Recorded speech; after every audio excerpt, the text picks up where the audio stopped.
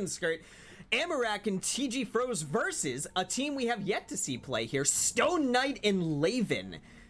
Two players that perhaps need no introduction again. Yeah, these uh, the sorceress and ninja combo who we saw last week. We saw Ninja uh, Layvan come out with his DP set, and it did pretty well for him in the beginning. But once he got to higher up in the bracket, it kind of fell apart. Yeah, they were interesting here. I don't know if that playstyle is going to work as well as Layvan wants to against the damage coming out of TG Frozen Amarak, but we will see. Layvan and Stone Knight almost qualified on Team DTF last week, but failed to qualify in this quarterfinal round, and they have another shot now. Yep, they have another shot to qualify. Let's see if they can make it through this time. We will see here. I am still in shock from that 1v2 from Amarak in his first round. Let's That see if that prowess epic.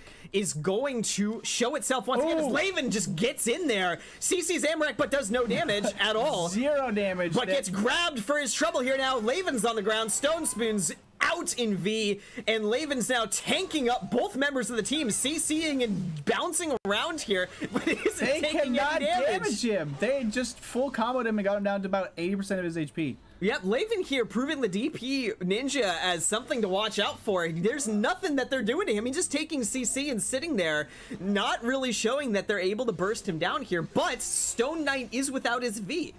Yep, Stone Knight is going to be up to Stone Knight. This is the flaw with their composition that has uh, uh, got them knocked out previously is that it it puts all of the pressure on Stone Knight. If Stone Knight gets caught and dies, the match is the match is over. Layvan just cannot take out his opponents. Even if it takes them a year to take him out, he cannot take another person out. Oh, Stone Oh, Stone Knight's on the ground. He has no V here, and he gets eliminated by TG Froze, leaving Layvan in the ill-fated 1v2.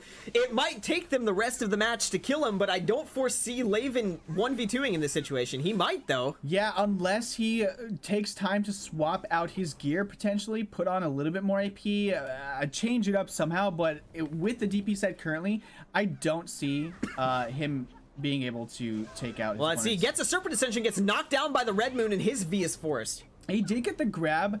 It looks like may- he did start to take a little bit more damage there. I wonder if he actually did swap out some gear. Um, in which case he might have a chance if he can isolate a target here.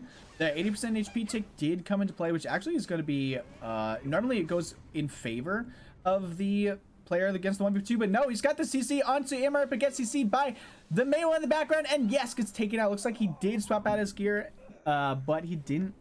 He wasn't able to evade enough CCs to stay alive and take him out. Yep, Layvan, the CC magnet here, he took basically every CC that was possible to take in that matchup. Yep. yeah, he did it. I mean, he did a great job uh, getting CCs and kind of soaking damage. But as soon as they realized the strategy and realized, oh, we should just go for the sorceress, uh, the sorceress has very little room to mess up because they are essentially in a 1v2 with potential lucky CC on the side. All right, let's see if Stone Knight's going to be able to avoid getting killed here, because I think uh, Poof and Skirt has correctly identified the fact that Stone Knight is all of the damage on this team. So if they've tunnel vision him, where is their Maehwa? Oh, there he is. TG Froze it there, and, and Amarak pops out of stealth, tries to get CC here, but does not end up finding it here. Layvan takes a little bit of damage, but again, Layvan taking damage is no no mystery here so far. He seems to be the attractor of most of the damage here. Yeah, they're just pretty much hardcore tunneling on Stone Knight here. Stone. Oh, yeah, he gets a Stone. CC here, but Amarak does not take very much damage Oh, the here. double CC! But Amarak block jumps out of the Grim Reaper and gets the grab onto Stone Knight. But Layvan's right there to back his teammate up, gets the return grab onto Amarak. Stone Knight gets back up to deal some decent damage. Not enough to take anybody out, but enough to uh, make Amarak back off. Right, forces Amarak's V as well there, actually, so he's without that cooldown now. As Stone Knight, I believe, still has his. So one V down on the sides of Poof and Skirt, the no Vs on the side of Team No Bully.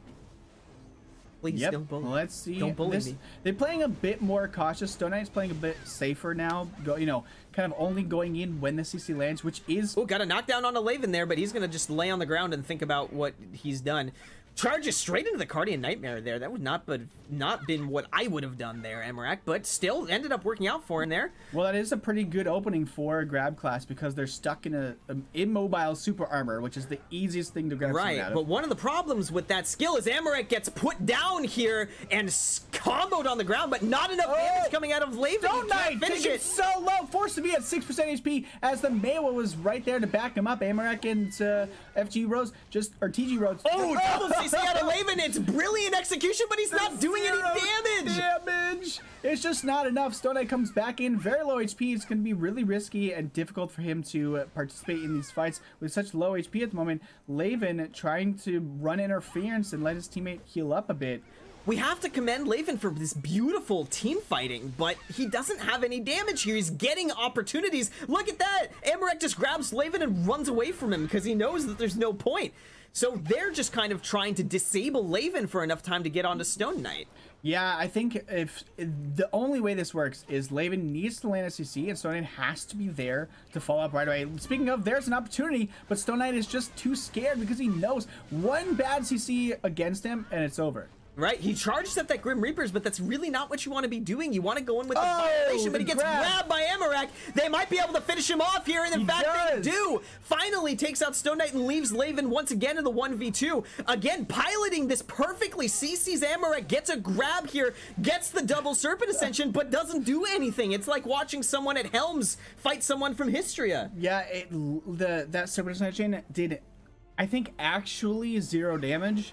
Uh, let's see if Layvan can swap out. I believe that he does have. Oh, that's a good smokescreen stun from Amarak there, forcing the V out of Layvan.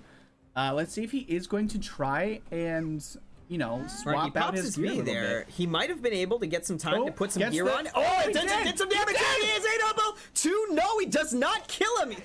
No, he misses the drastic matters as uh, TG Rose gets back up. No V pop from TG Rose, but a P- a V pops. Everybody's super low. Layvan's now turn the tides as he gets the CC behind TG Rose. He turns it into 1v2, but he gets CC by Amarak and take it out eventually. Nicely done. Good follow by Amarak to knock out Layvan even after that Oh, tricky gear swap. playing so well, but he missed the final drastic measures he would have needed to take that match.